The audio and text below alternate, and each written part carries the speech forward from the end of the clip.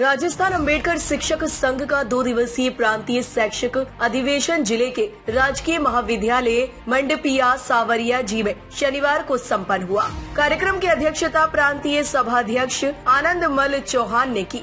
मुख्य अतिथि भदेसर पंचायत समिति की पंचायत समिति सदस्य मंजू बोरीवाल थी। वरिष्ठ अतिथि राजकीय महाविद्यालय मंडफिया के प्राचार्य डॉक्टर श्रवण लाल खटीक, प्रदेश मंत्री पन्नालाल खटीक, गणेश लाल जाटोलिया थे। कार्यक्रम का शुभारंभ अतिथियों के द्वारा बाबा साहब डॉक्टर भीमराव अंबेडकर की तस्वीर पर पुष्प अर्पित कर किया गया। इसके बाद सभी के द्वारा संविधान दिवस के उपलक्ष्य पर कार्यक्रम आयोजित हुआ। इस अवसर पर कैलाश चंद्र खटीक के द्वारा संविधान की उद्देशिका का वाचन कर सभी को सुनाया गया एवं इस हेतु संकल्प लिया गया। कार्यक्रम की अगली कड़ी में चुनाव तुलसीराम मेघवाल एवं चुनाव पर्यवेक्षक श्रवण लाल खटीक के सानिध्य में चुनाव प्रक्रिया शुरू हुई।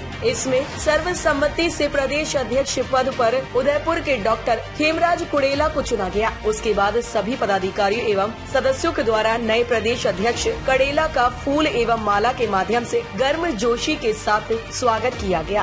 अंत में चित्तौड़गढ़ जिलाध्यक्ष गंगाराम खटीक ने सभी का आभार व्यक्त किया। कार्यक्रम का संचालन प्रकाश मेघवाल व मांगी मेघवाल बिलौट ने किया। कार्यक्रम के अंत में नव निर्वाचित प्रदेश अध्यक्ष कड़ेला ने समापन की घोषणा की। सम्मेलन के दूसरे दिन खुला मंच का आयोजन हुआ।